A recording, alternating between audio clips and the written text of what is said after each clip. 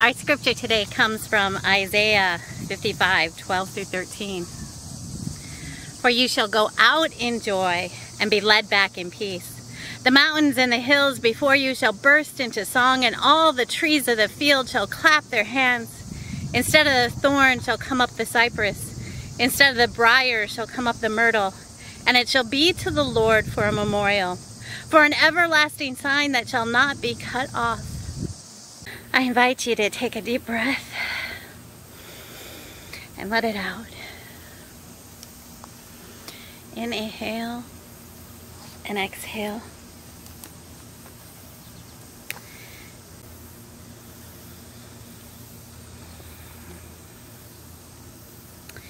And while you're resting here with God, take a moment to think about your favorite tree.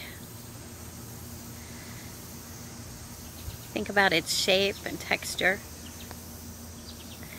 Think about its bark, its leaves, its needles. Do the leaves turn colors? If so, what is your favorite season? In the spring when it's that light green? in the summer when it seems steady and there may be fruit starting to bloom. In the fall when it turns into spectacular color. In the winter when all you see are its bones. So I want you to breathe deep and picture yourself sitting there under that tree in the shade. And feel the presence of God come onto you.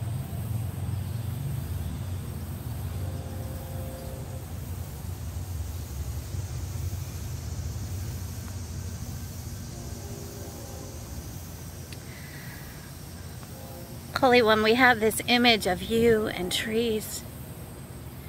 You tell us that we shall go out in joy and be led back to you in peace and that you'll be walking among the trees that burst into song, that clap their hands. And those trees, those steady, constant trees, those trees that live for generations and generations, those trees are to remind us of you, of your presence. That like those trees, those trees that could be here for hundreds and thousands of years, those trees your presence, your faithfulness is with us. Holy One, surround us this day. Show us your peace. We need your peace in places where we don't know what to do and how to understand it. We pray for Afghanistan, for the people there. May your love and light come into being. May you protect those who are fearful and afraid right now. May you help them find a way to escape danger. And you may you forgive us. Forgive us who